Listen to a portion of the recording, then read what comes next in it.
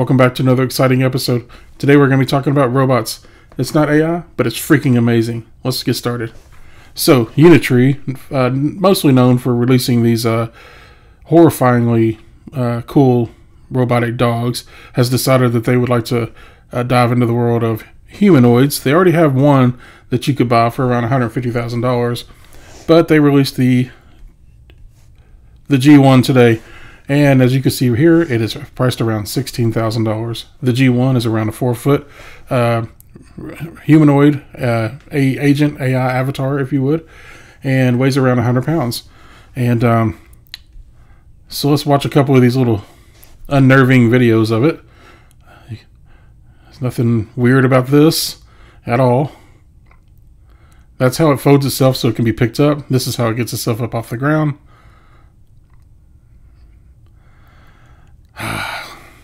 Nothing like a good old backstretch. Um, it has the hand movements will be lifelike, and you can manipulate it to do very precise uh, movements with it. And for example, um, if you wanted to crush a walnut or you know pop the top off of a uh, Coca-Cola bottle, it can flip burgers and all that fun stuff and do some soldering uh, this thing here is pros- most likely going to uh, take over factories. I, I, hate to say it, but this you will see a lot of these in factories, um, and especially around that price. If of course that's the price from video uh, price, but so it could be, you know, when you add some options, it could be more expensive. They put out an actual demo video. Let's take a just a watch of it. It shows some of that, but also shows some of its other capabilities.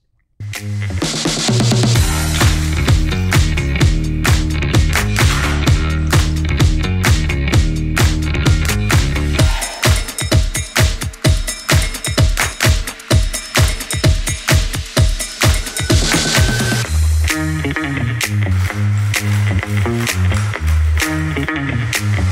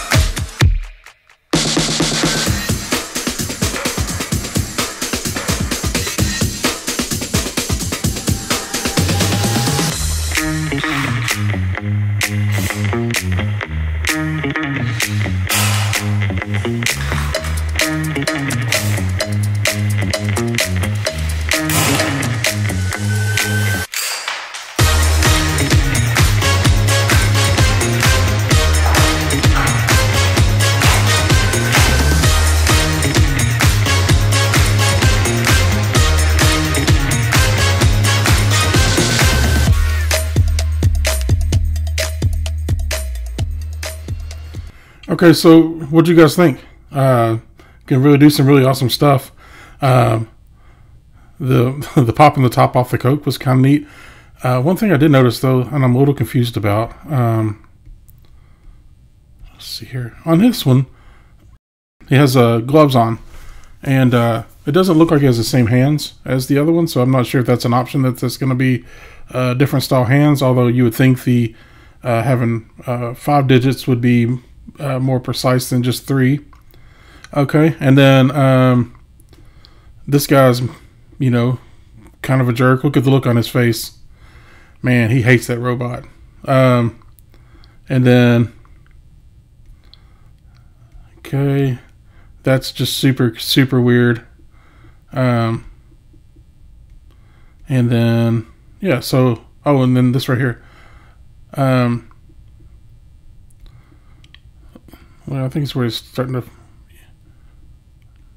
Right here. Okay, so it says uh, Unitree Robot Unified Large Model. So I guess they're going to have different sizes. But right now on the website, they just have. I think they just have one. So let's actually exit out of here.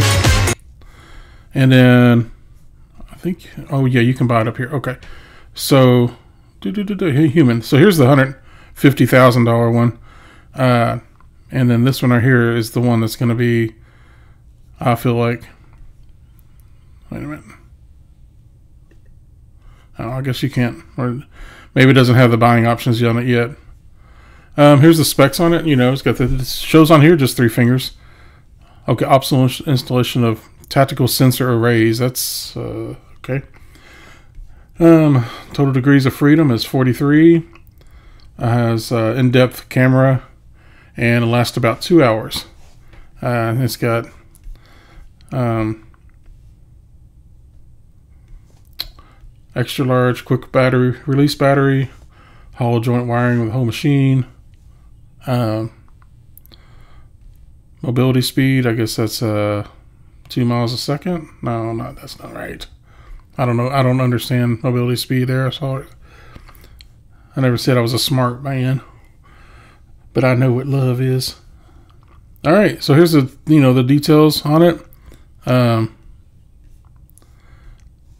and price does uh, exclude uh, shipping and uh, uh sales tax. So are you going to buy one? Do you work at a factory? Do you think this thing's going to take your job? Um, I would buy one just to mow my yard and maybe do some stuff around the house, I guess, that I would want to do. What do you guys think? You tell me. I just wanted to share it with you, and uh, thanks for watching.